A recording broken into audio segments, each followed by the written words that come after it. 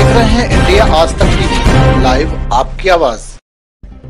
UP के हरदोई में थाना अतरौली में महिलाओं द्वारा लड़कियों को गुमराह करके उनके शारीरिक शोषण का कारोबार चल रहा था। वरिष्ठ पुलिस अधीक्षक राजेश द्विवेदी द्वारा पूरी जानकारी प्राप्त हुई। आइए सुनते हैं। संवाददाता राजेश द्विवेदी की रिपोर्ट। ये परिवार एक मूलतः कश्यप परिवार है जो कि जनपद हरदोई का रहने वाला है लेकिन दिल्ली में सेटल हो गया था।